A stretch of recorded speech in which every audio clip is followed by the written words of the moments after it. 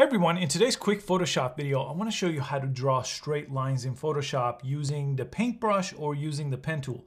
Now, it's actually really simple, but it's not at all obvious. So let's jump in and create straight lines in Photoshop.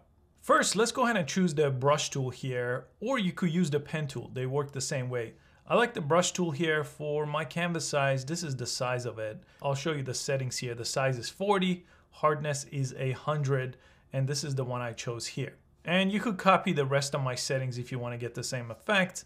And let me just go ahead and click this foreground box and change this to blue. And it's a little bit easier to see here. Now, if you just click and draw, it's hard to get a straight line. So let me undo that.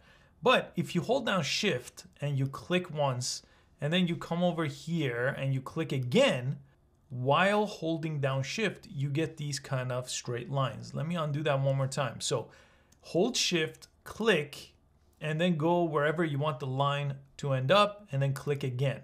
That's one way to draw a straight line. The other way is you could just go ahead and hold shift, click and drag, and even if I come up and down, it's still gonna move in a straight line. And even if I go this way, it's gonna add to this side of the line. So I'm gonna click again, hold shift, and then this time go straight down and I could only go straight down as long as I'm holding shift. As soon as I let go of shift though, I could start kind of freehanding this. And it's that simple to draw straight lines in Photoshop. I hope you found this useful and I'll see you next time.